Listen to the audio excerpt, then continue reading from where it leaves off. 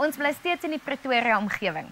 Dit is regtig 'n vooruitstrewende area vir besighede en hierdie keer wys ons julle die Fotizo Light Therapy, 'n oulike instrument vir enige pyne en skete. En ons kyk ook wat se dienste Goma Exposure en Koopkrag lewer.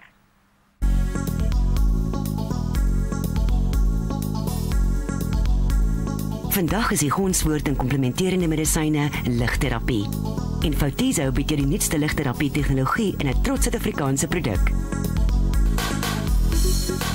Ligterapie stimuleer genesing. Dit verhoog die immuniteit, dit help ook vir pyn, swelling en inflammasie dit help die liggaam vinniger genees. Die Fatizo stimuleer die energievlakke in die sel wat die vonk verskaf vir die sel om te begin herstel en genees. So moe en beskadigde selle word herlaai en genesing kan natuurlik plaasvind. Die Fatizo is uniek want die dosis van elke individuele apparaat is geprogrammeer vir akkurate en doeltreffende behandeling van verskillende kwale en probleme.